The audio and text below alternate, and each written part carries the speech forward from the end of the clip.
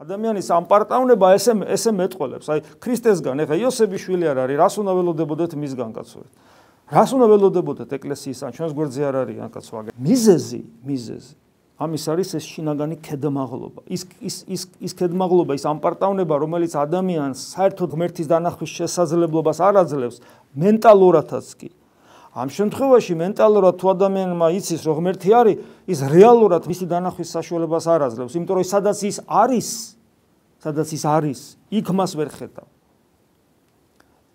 თუ ღმერთს ვერ დაინახავ ეკლესიაში, რეალურად შენი რწმენა არაფრის მომცემი არ არის.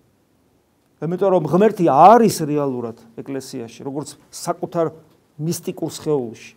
მისი დაუნახაობა, მისი დაუნახაობა. ერთადერთი დიაგნოზია ამ შემთხვევაში მისი დაუნახაობა ნიშნავს, რომ ადამიანი არის ზღვარგადასულ ამპარტავნებაში.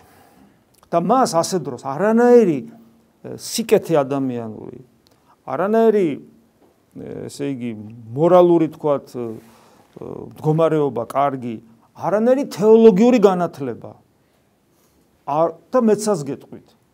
არანაირი ეკლესიურობა ნათლობით ეკლესიის წევრობა და ზიარებულობაც და თვით სასულიერო დაში ყოფნას კი არ შველის.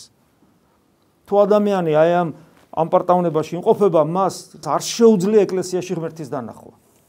ამიტომ ის არის იქ ეკლესიაში მანამდე სანამ მას ეს აწყობს. აწყობს